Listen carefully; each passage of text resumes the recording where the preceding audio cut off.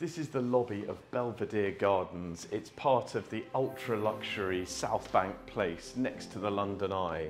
And as part of our series that showcases the penthouses here, I'm going to show you one that is currently presented in shell form. Let's go and have a look.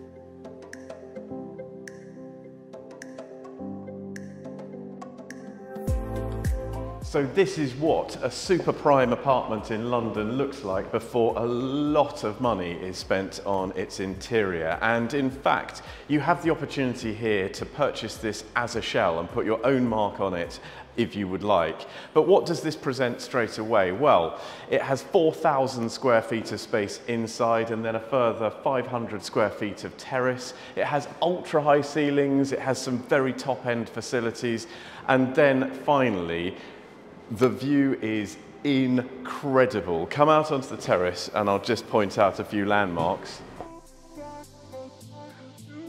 So, looking straight ahead, obviously you've got the London Eye, which is incredible. Beyond that, Green Park, I can see Buckingham Palace straight ahead, Telecom Tower over there, and then finally, who needs a watch when Big Ben is literally just across the river there? Now, as you would imagine, an apartment like this has been designed with entertaining in mind. And not only is there a very large living room that would host a fairly substantial party, but this is the kitchen, which is also a really generous space.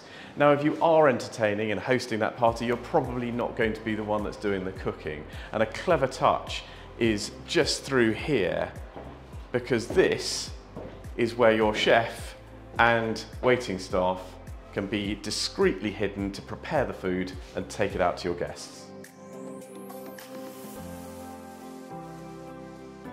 Now this apartment occupies the whole of the top floor. This is floor 20 and it gives you enough space to have four generous bedroom suites. There is a corridor of two bedroom suites down there and then two more just through here and the jewel in the crown is that master bedroom.